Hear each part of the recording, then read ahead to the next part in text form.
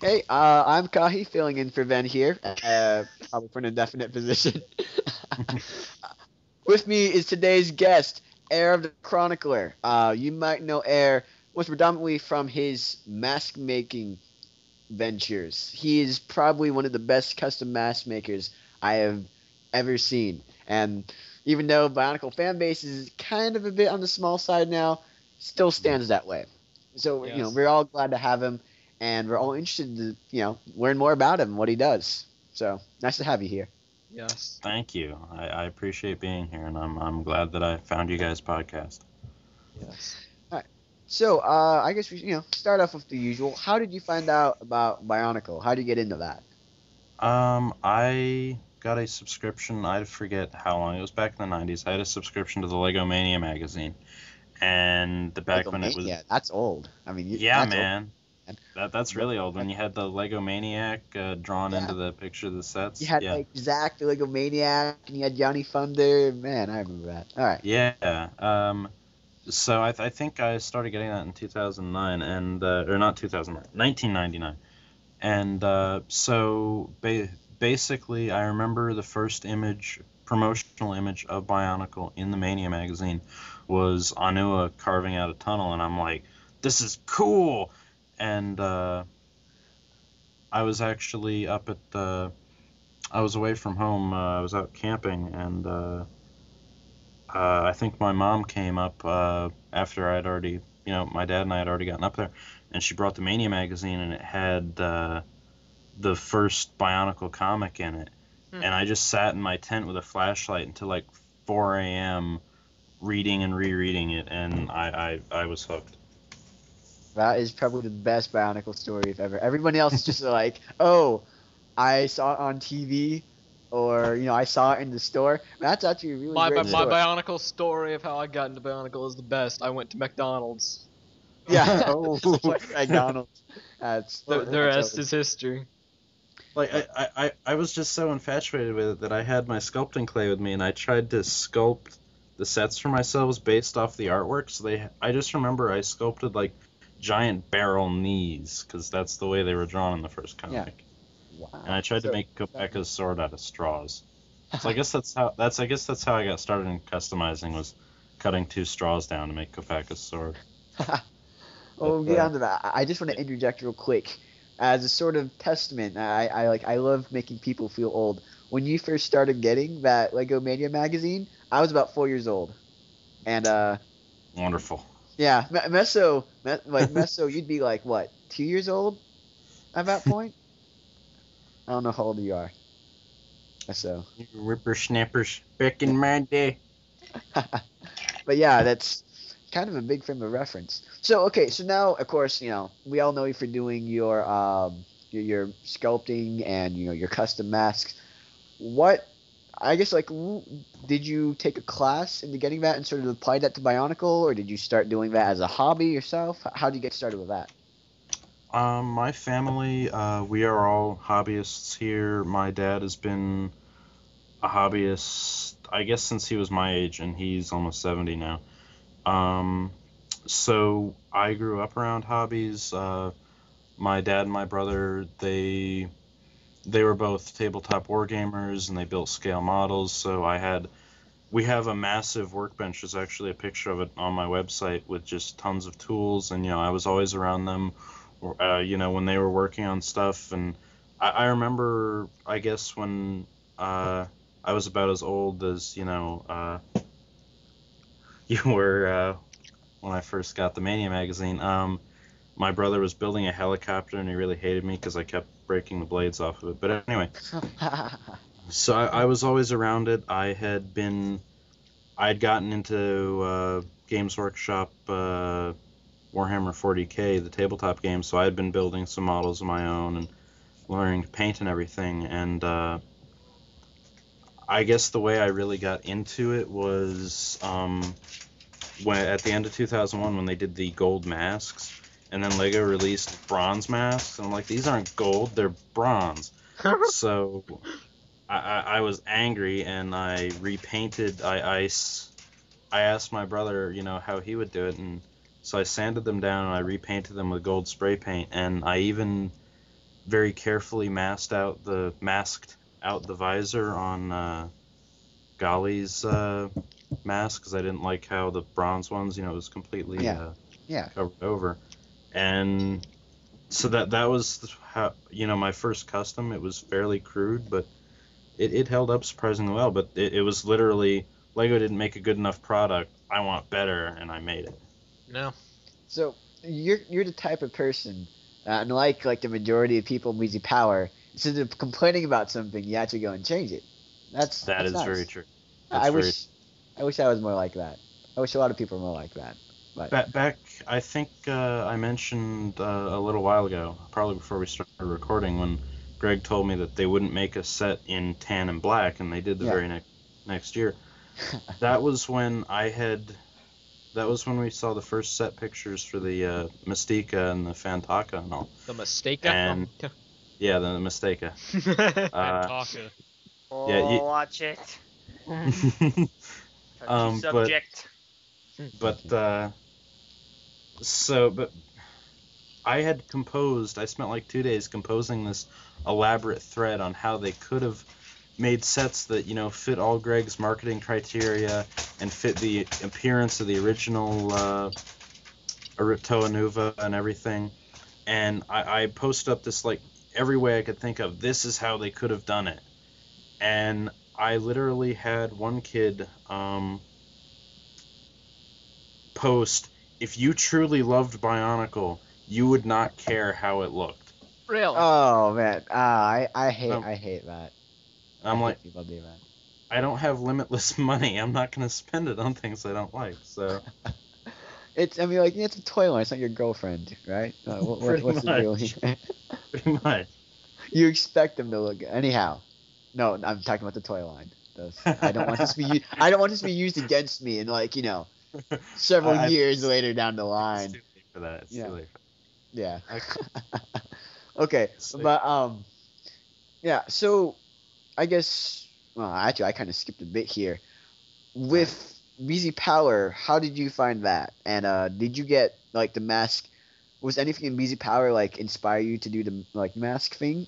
Uh, you know, to start doing a lot more custom mask stuff, or Uh, well, I, I don't remember how I discovered BZ Power. I think I found it in, I guess it would have been 2003. Um, wow, that was a long time ago. So I'm like an eight-year member now, something like that. I don't know. Um, Oh. I, I just got involved with the community and I liked it. I think it was in 2006 or seven. I'm not sure which.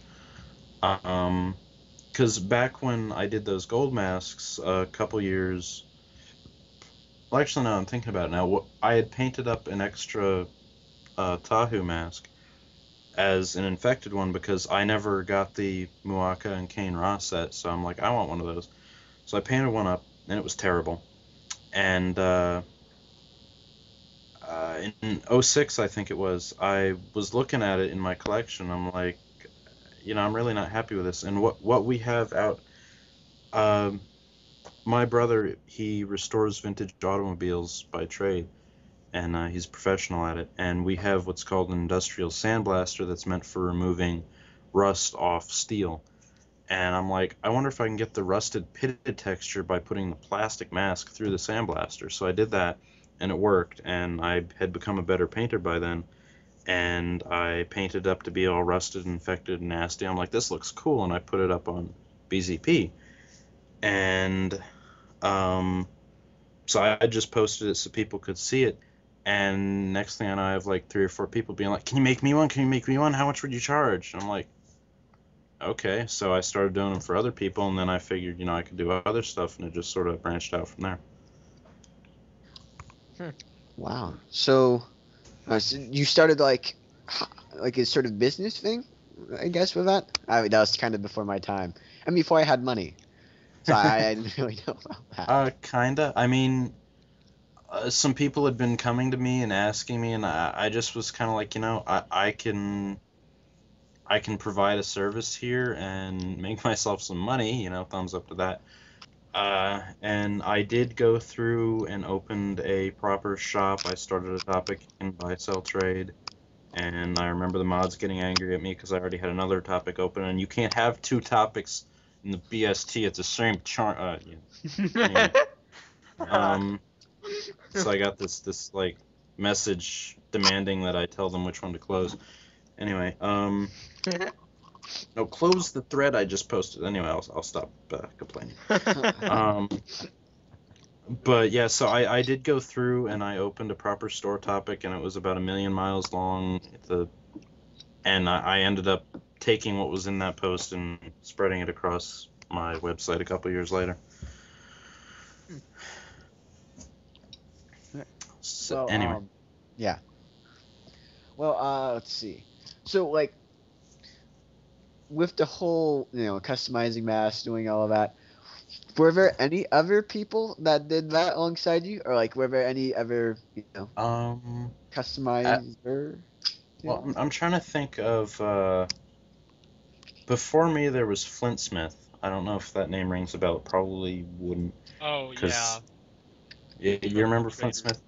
yes. Yeah, he. Uh, I mean, he he cast stuff. He he did castings of masks, but he was pretty well gone by the time I started up mine, and I don't think he ever reappeared.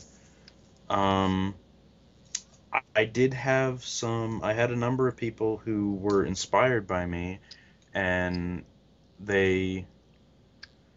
I, I did have a few people attempt to open up in competition, and I feel kind of conceited saying this, but basically, they weren't as good as me, and that that's not because you know I'm not trying to say, well, I'm you know I'm cool. uh, they they couldn't compare to me. No, I, I- it's just that you know I grew up in a family, you know we that I grew up in a very hobby centric family, and you know I've been around this stuff all my life, and I you know learned how to do pretty much all this stuff uh, second nature. And you know these kids, they see me, they get some you know supplies at the local Hobby Lobby or something, you know Walmart, paint, you know finger paint section, and they try to do something. Um, that there is actually a section on my website with tutorials that because people kept asking me these things, I'm like, you know, Yeah. I'll just put up tutorials. If people like that, you know, so that's cool. I actually I had one kid, he actually copy and pasted my entire store post and changed the topic title and Really? opened it as his own shop. And I was like, uh, mods, can you close them down? And then the mods went after someone else instead of me for once, which was nice. Um, but uh, as of right now, um, I have found a couple of other people uh, on DeviantArt who are pretty good at what they do. That they've Yeah. that they're there's at least one guy who's probably about my equal. He's done some really cool stuff. So I think now there's some folks out there, but in back in BZP's heyday, uh, and back when I was going strong with the store, I did have to answer your question. I did have some people, but they weren't as good as I was, and they, they didn't Yeah. stick around. Okay. Well, so uh, anyone who knows me knows that I'm very centric about money and pricing and profit. How much would you make off, you know, uh, a mask? Like, how much would it cost to make, and how much profit would you get when you charge someone to? do Um, that? I always tried to be very fair about my pricing, um, and uh, as some people have observed who have looked at my pricing, they would not agree with that. But um, I, I certainly do not try to gouge. I do not try to. Uh, you know, I don't try to see if you know if I can get as much money out of every single thing as I can, like uh, Lego does with its sets. But anyway, um, Ah, so basically, the way I price is I figure how long something is going to take me, how much effort it's going to be, and I I quote the price from there because like repainting a mask, you would think, well, what, you just spray some paint on it. But I, I take the mask, I sand it down with a fine grit sandpaper so that it doesn't uh, uh, it doesn't scratch, but at the same time it you it paint will hold hold to it. And then I have to often blend colors to try to match the uh, the Lego color as closely as I can, and I have to put that in the airbrush, and then I have to spray it. and I have to clear coat it, and you know, and that's just a basic repaint, and that's going to take me over an hour effort just to, uh, you know, from Oh. start to finish. Yeah. So, um, so yeah, I, I, I try to be fair with the prices, I really do, but I do have to cover, you know, the time it's going to take me. Yeah. Now, like, if, if I'm correct, you don't still do that, right? Um, your BZ Power heyday has been over, or, or do you? Because I, I'm pretty sure Uh, we've heard by now if you still did, but I'm, I I'm not that active myself. very quickly, there's a lot of static coming from your mic, Kahi. yeah. Oh, I'm um, sorry. What, what, let me, let me see. if I can deal with it. Give me one second. Yeah. Is that any better? Nope. Nah, I can hear still No. hear. it. Nope, okay. it just got to be about the same. All right. Uh, give me a second. Ah, good grief. Why does this always happen? Uh, where were we? Uh, I just asked you about let's see, BZ powered modeling, all that kind of stuff. Oh yeah, I, I asked you like if you're still doing that. If uh, Right. you're still like, are you still you know open for commissions or you know doing that sort of thing anymore? Have you moved on? Yeah. What's up with you now? That is a uh, kind of a tough subject in that uh, back in 2009, I uh, I had been going pretty strong with the store. Um, back in 2009, I allowed you know some real life issues, some stress and stuff to uh, to knock me down, and I uh, I let things drop. I let myself fall behind. I ended up with orders that I was, you know, months behind on, people that I kept having to apologize to. And since then, I mean, I've tried to make several comebacks. Um, like big, full, hey, I'm back, I'm in business, you know, I'm, I'm not going to drop the ball again comebacks, and then I drop the ball. Um, uh, and I, I'm not proud of that at all. I'm very unhappy with myself over that, and I, I mean a big reason of that is that I feel that I, you know, kind of missed the closing, the closing days of Bionicle and the old BZP, and you know, I, I can't go back in time and uh, do that over. Um, I do still accept commissions. I would like to try to build my shop back to uh, something of its previous state. I would like to take on Hero Factory and uh, see what I can do with uh, with that. I actually changed the name from Vakama's Masks uh, Forge and Foundry to Vol's Forge and Foundry, and uh, uh, the point of that was that I was going to make up a Toa character named Vol, who you know is a smith craftsman, and a Hero Factory character named Vol, who's also a smith smith craftsman. Because after I'd been in business for a while, I actually ended up branching out into like swords and armor and all kinds of crazy crap. So it wasn't just masks. But regardless, I mean, I, I have still been taking uh, commissions. Like if uh, someone sends me an email or someone, uh, you know, someone I have a number of friends from back in the days who contact me out of nowhere, like, hey, can you do something for me? So I do still do commissions on an individual basis, and I would like to build it back to a full business.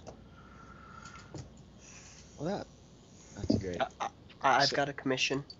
Hmm. I- I'll pay Okay. you a lot of monies if you if I- I'll send you all the parts. If you can make Okay. me a statue of me, uh, like a real a buff statue of me, like stabbing Kahi, who's lying on the ground, very weak and frail. I'm just stabbing him through the throat with a sword. A story. Anyhow, And uh, so, do we put Messanak in as this like small, sad little Hero Factory set looking on? yeah, Yes, Yeah. and both of them. that that sounds pretty fair. Here, I've, I've I've already drawn a commission of dead Bionicles, so it, Hmm. it's really nothing new to me. Wow, Yeah, I put the link in the Skype thing. that's actually pretty awesome. Hey, that looks Yeah. like uh, Awesome. what's his name? Red Kongu. No. No, no. It, it's, um, Red the name is the name's on the tip of my tongue. Axon and Red Kongu. Gray and Gray and Axonak. Are you thinking uh, Ausar? Yeah, him. That's Yeah. Yeah, And he, of course, he commissioned. Na- yeah, his name's in the URL, of course. Yeah, exactly. on. But yeah, yeah, it's like BZP isn't that Oh, far outside. gone. Like we can we can talk about for a long time how BZP has fallen from its former Yeah. grace. Oh, They're not that far gone to where if if you were say able to get a, a shop back up and running, I think personally it would do wonders Mm. for the community just having that available again. Because Yeah, there have been people who have like posted topics about custom masks and custom parts, but it's like you know nothing near as professional as what you did, not nearly as high of a you know work quality. So it's a bit more difficult for people to go to such a place and be like, okay, yeah. you know, this could work. Well, um, I was gonna ask two questions, but then I remember how I found out about you in the first place, and that was for uh, Riggs, um, oh, how do you say it? Olisini, oh, O- oh, Olisi. Olisi, Oli- Olisi. Olisi. That That Olisi. that was is the one of best. Yeah, that is that is like that's the Mona Lisa of custom Bionicle masks. Thank you. And uh, so I I was gonna ask, you know, what's the most expensive one you've done and which one took the most time, but I, I'm pretty sure that would be it, if I'm not Um, mistaken. That that is certainly it. Um, I do have another one that's a statuette uh, that was featured on the BZP front page, so you probably saw it. That would be Yeah, I remember that. that would be Oh, yeah, equal in remember that. time yeah, I and effort. remember that. that would be equal to it in time and effort, but it didn't require the sheer amount of just how in the hell am I going to do this that uh, the Yeah. Olisi required. How much? I I don't know if you can divulge this information, but I'm, I'm, I'm always curious about this. How much did Rig pay for that? Um, I'm trying to remember actually, because he traded me some stuff, and I think it was like, uh, it was over fifty dollars plus trade items, but I forget what. It was something Okay, around. well, It, it, it was it was expensive. That was probably. So like, what was what was the most challenging thing? Of course, like you know the design process. You know, like how I'm gonna do this. But like, how did how did you sort of settle up on you know like how you're gonna just create this mask from scratch that you only had a picture of? Um, I honestly I don't really have a problem with that process. I just sort of go to town. Um, uh, when I was first looking at how I would go about it, I I had him send me a, uh Kongu Anika mask, and that's what it's based on. And I just started building it up from there. Um, the stitches that are holding the front of it together, that's actually chunks of solder with the ends crushed down. Um, so I, I mean, we have a big enough supply of stuff here that you know, anything like that that I need, I can find something that does the job and and do it. Uh, but yeah, literally, I mean, I, I looked, I looked at, um, I looked at the image and I, you know, just making a 2D image into a 3D thing like this was certainly a challenge, um, and and I'm not entirely happy with it. But like I said, I don't really have a problem. I look at it and I just sort of see how this would, you know, look in three dimensions, and I just run from there. So I guess wait, when you create a custom mask, just say that you know if someone wanted to create one of the uh, custom masks from uh, like the the two like you know all the unknown quote unquote masks that uh, Sager did, World. Stuart Sager. They- Oh, I and know, Bionicle World. right. That too. Bionicle World too. Don't forget about that. Um, So how would I just like how would you like propose you know I guess like how would you start doing that? How would you tell someone you know this is how this is step one in that process? Um, I have step one would be to find an existing mask that's similar, and then uh, I'd cut it, you know, cut cut it down as far as I needed it to, and then build it up again with uh, plasticard or um, or whatever else really. Okay, so okay, I guess get into that, you know, after you're saying, what are the like the indisposable tools of the trade that you would need to, you know, start doing anything like that? Um, well, an example I'm going to use is uh, uh, this fellow wanted uh, a Spartan mask from the movie 300. Uh, a Spartan helmet over top of a Tahu mask, and I'm staring at this thing like, how am I going to do this? The first one I did, I actually sculpted entirely from what's called green stuff putty. It's a two-part epoxy that you mix together and then you shape it and then it hardens. And that was a huge pain because while it was soft, it kept flopping everywhere. It just it wasn't pretty. Um, and it was very hard to get an equal, an even shape, and it, it was a huge pain. But you know, I looked at how I'm going to do this, and then I figured, well, I can do this with the putty; it'll work out, and I, I went from there. Um, he was not happy because I hadn't put a horsehair crest on it, so he refused me to refused to pay me for that one, and asked me to do another, which I did. Hmm. Uh, the other one I used a very thin plastic card for the the face facial helmet part, um, and uh, I can toss you a link here so you know what I'm talking about. Uh, and I put the horsehair crest on it, but for some reason I did not use plasticard for that, so it came out obscenely thick and just wasn't really in keeping with the rest of it. So basically, right there, you know, I learned from the previous one. I improved the technique for the facial part, but I hadn't, you know, done a crest like that before. So that part, it, it, it was, uh, you know, I learn more with each one that I do, and that one it came out okay, but it, it looks kind of clunky. but again, I, I literally I just look at. I, I'm not even sure how to describe it. I just sort of consider literally what what materials can I use for this and what steps would it take to build it, and then I just run from there. And a lot of what I do is literally winging it. Okay. So I noticed like a lot of sometimes a lot of stuff you do has sort of uh like you know recolors and masks. You sometimes paint them to have a sort of more rustic kind of feel or look to them. How do you Uh, say like how, how do you go about doing that? Uh, do you mean like with paint chips and uh, wear and tear and things like that? Yes. Or- yeah. Uh, that is, as I think I mentioned earlier, I do tabletop wargaming, so I paint fine scale figures, and that that's my real hobby. And uh, basically, I just transpose techniques from that onto the masks. In that, uh, for example, I have a uh, I called it resurfacing, but uh, I have a Tahu Nuva mask that I did complete with the little poison scar on the left cheek from uh, the first movie. Um, I sanded it down, I repainted it a dark red, and then using a bristle brush, I built up all the raised areas to give it the uh, a realistic highlighting. Um, I used a wash to darken it, and and again, like I said, I learned on e- each mask. The first one I did, I used an ink to uh, provide the shadowing, and that came out glossy, which wasn't that cool. Um, I I did a second one that came out much better, but uh, for the chipping areas, I mean, I look at what uh,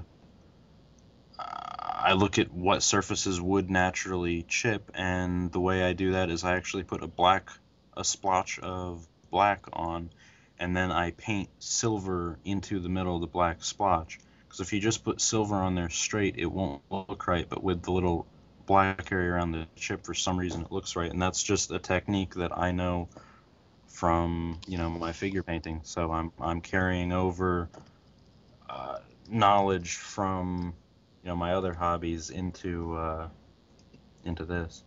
Sure. Oh, that's cool. So Uh, I guess what was the other thing you were gonna say before I interrupted you? I other thing I I wouldn't know. Kahi Okay. tends to do that.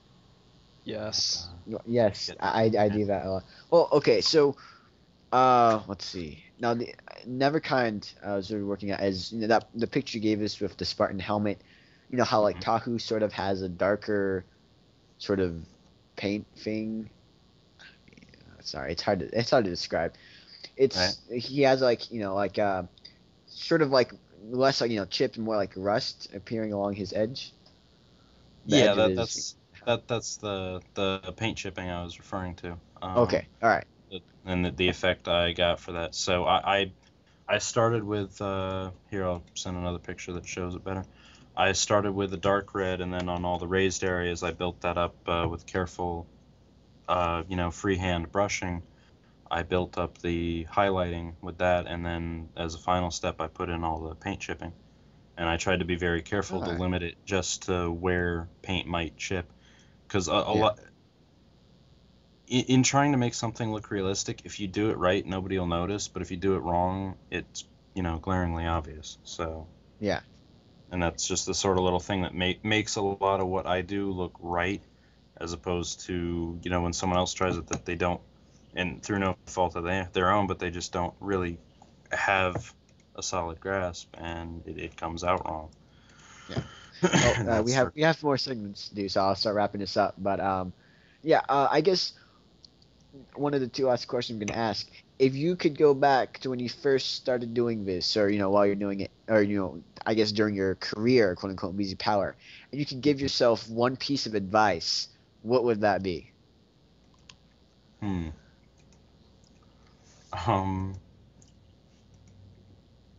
I guess my piece of advice would be to uh, better manage my time so that I wouldn't end up uh, dropping out of the community the way I did, which I, it's something that I, I feel very badly about. Uh, I, I really wish I had made a more dedicated effort to, uh, you know, stay in the community and get the work done and, you know, stay out there. And uh, I guess, I guess that's what I'd tell myself. well, it's never too late to return. I hope not. Yes. No, I, Oh. it's, it's interesting because you came back at the bloody perfect time. Bionicle community sucks right now, and you're just what they need. Yeah. But not No, what Um, they deserve. seriously. Yeah, i- if I'd like to just float something real quick, and I'll try not to take up too much time with it. Sure. Um, something, something I had been considering back a few years ago. After I posted that thread about you know how the Toa Mistika and everything could have been, I got to thinking. I'm like, I wonder if I could make up conversion kits with just like a select few custom parts and then other people could use their own collections to build, you know, the the custom set that I have in mind. So, for example, Yeah. to make Toa Nuva that look like they do in the movies, you know, where Lua doesn't have buck teeth and Gali doesn't have a pig snout. Lua, another person. Lua, Find I'll out have to- that We'll have to one do of it I'm gonna us. interject here. Of us. That's been a long, heated subject of debate. No, Uh, Lua versus Lewa versus Liwa, and that that's gonna continue And till the end of time. No, I'm just and and all But- we got out of that was me asking, "Is it Lua or Lua?" And no one ever let me live that down. All right. I just say Lua. Okay. I- Lua, in my yes. def- in my defense, instead of saying Onewa for uh, the Toa Toa Metru of Stone, I say Wanwa. So, and it's totally wrong, but I do it anyway. Yeah. No, I mean, you can't really go wrong with Onewa and Onua. Like, I don't know what they were thinking of there, making it I, I, that's occurred to me. so so close together. Yeah. Okay, so this this piece you've posted, this is this is what Marcus need. No more No. no, no more Roxy heads. You know. No, they don't need this. This is Little this children is are gonna look on and go, "What the?" This is the single most Little children have moms. LJ. Come on. yeah. Anyhow. This Yeah. is the single most controversial custom I've ever done for obvious reasons, and I'm gonna leave it at Yeah. that.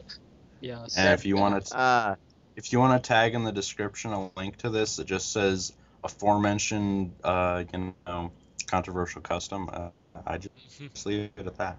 Yes. Because yes, I had someone come to me and ask me to do this for them, and making wait. those two things was far more difficult than it should have been. I, I've got. To, I'm on the website right now. I love the layout, by the way. I've got to Thank you. figure out who ordered this. Um, Erebus Nuva. Oh, you know, a part of me is not surprised. I'm just gonna leave it at that. the last question. Uh, you know, what do you have to say to the community of BZ Power, and especially those who would like to get into your craft? Um, hmm. Don't do it. Well, uh, well, DeBeezy Power. I mean, I would certainly like to get my stuff back out to the community and you know see if we can get some interest drummed up again. And I'm I'm glad you guys are you know as enthusiastic about that concept as you are. Yeah. Um, for anyone else looking to get into it, unless this is something that I mean you want, you think you would enjoy, you know, doing and intend on doing lots of them. I mean, I've had people ask me, "How do I make an infected mask?" I'm like, "Well, um, you start out, you buy an $800, uh, you know, sandblaster, and then you buy $20 worth of paints and uh, $10 worth of brushes and." or you can pay me eight dollars and I'll do it for you. So if, Yeah. if it's if it's a genuine interest, you know, if it's something that you're really interested in, because there are a lot of people who customize action figures, and I have a lot of respect for them. Um, I think it, it's a good entry point, you know, messing around with these, and then maybe going on to more advanced figures and things like that. But if you literally just have one or two things in mind and I, and you have no previous experience, you didn't grow up around hobbies like I had the fortune to and things like that, you you're gonna spend money and you're not gonna get the result you want, and that's just gonna be that. And I don't mean that in a mean way. That's just fact. No, no, that that's perfectly understandable. If you want something like that, you know, it's better to get it professionally done than the. You could do it yourself if you only want, you know, one or two things done. It's probably not going to be worth buying a hundred dollars of equipment for like a eight dollar mask.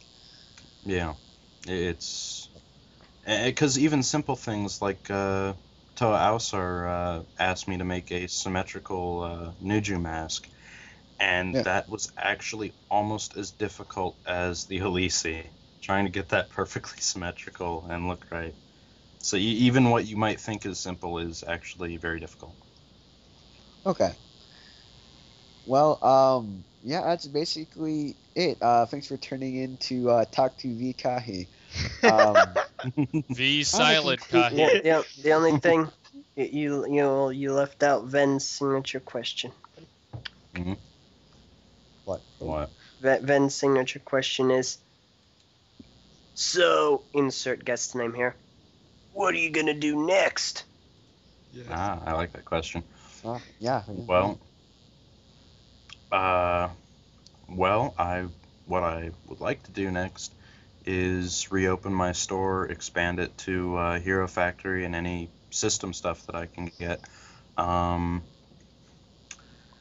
uh, and do what I can to you know revive the community in whatever way I can, and and that's that's what I'm hoping for, and I'm kind of you know counting on you guys to keep me accountable so that I don't uh, drift off and leave everything hanging again. You can count on us. We're reliable Indeed. sometimes. We're, we're Yeah. totally reliable. We, we Yeah, get our one- movies out on the release date. We pro. Uh, man, Oh, watch it, Paolo.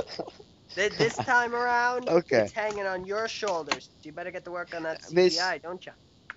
This is a personal question from me. How hard would it be to make like a calyx that like attaches to a normal head? Is, is that possible? Is that like can you do Um, that?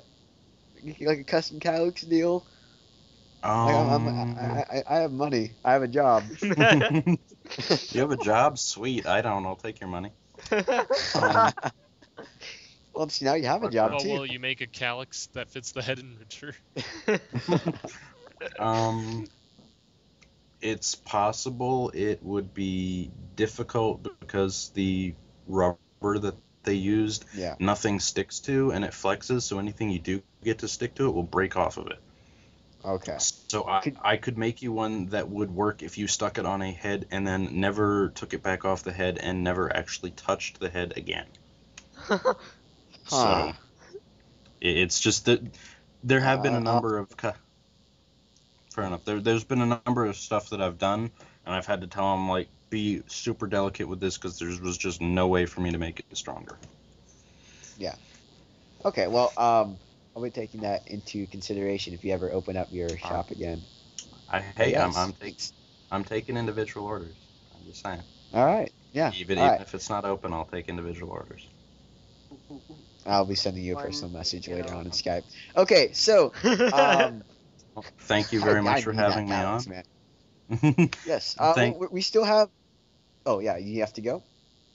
Um, I'm just gonna log out for a few minutes. Um, but yeah, thank you for having me on, and I really enjoyed it. And you guys actually asked some really cool questions, so um, I'm glad I could be here. Yeah. Thank you. Yeah. Well, thank you Yeah. for being here and uh, you know I hope- listening to our podcast. and not gonna come out. Hope you have me back. Thanks for being here. Thanks for contributing to the podcast. Uh-huh. Today. Awesome guest and awesome person, Yes. awesome member of the community. Yes. Well, so if you people do want to contact you, sorry, the one last thing. If Yeah. people do want to contact you, ask for commissions, or you know just check out the stuff you have. What's the best way to do that? Where should they check you out? Um, I mean everything except for some of the more recent stuff I've done. Everything is up on the website. Um, and just send me an email at airthechronicler at gmail.com, and you're good to go. Okay. What's your website URL? Why don't we just Um, put that in the description? Yeah, put it in the description because it's oh yeah, actually we, I pretty long. understand. Yeah, yeah, that would be a lot easier. Yeah. Okay. Well, yep. Thanks for being on here. Yeah. Great Uh-huh. having you. Thanks for having me. Hope hope you have me back. I'd like to. Joe. Yes. I'd like to, as he says wistfully. Yeah. Yeah.